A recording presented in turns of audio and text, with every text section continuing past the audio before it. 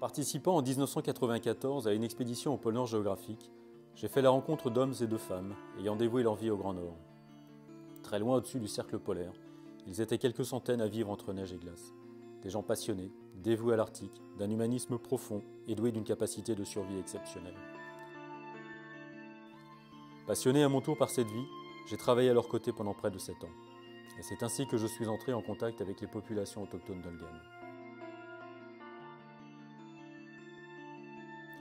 En moins de dix ans, j'ai vu ces régions se transformer radicalement sous l'action conjuguée du réchauffement climatique et des changements économiques et sociaux. La nécessité de réaliser un important travail photographique sur les populations de l'Arctique s'est alors imposée à moi.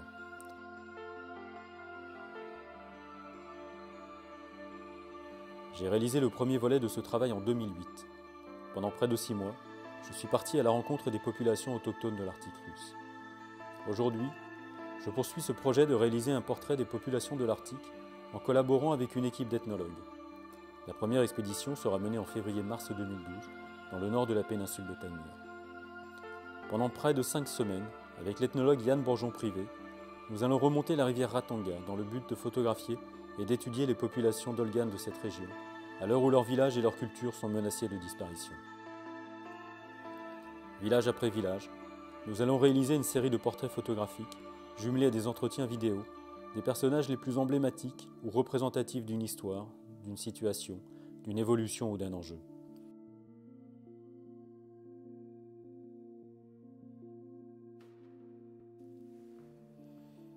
L'autre objectif de notre mission sera de provoquer la parole en soumettant des documents photographiques anciens aux communautés rencontrées. Par cette simple action, nous provoquerons les souvenirs et inciterons à la transmission des savoirs et de la culture.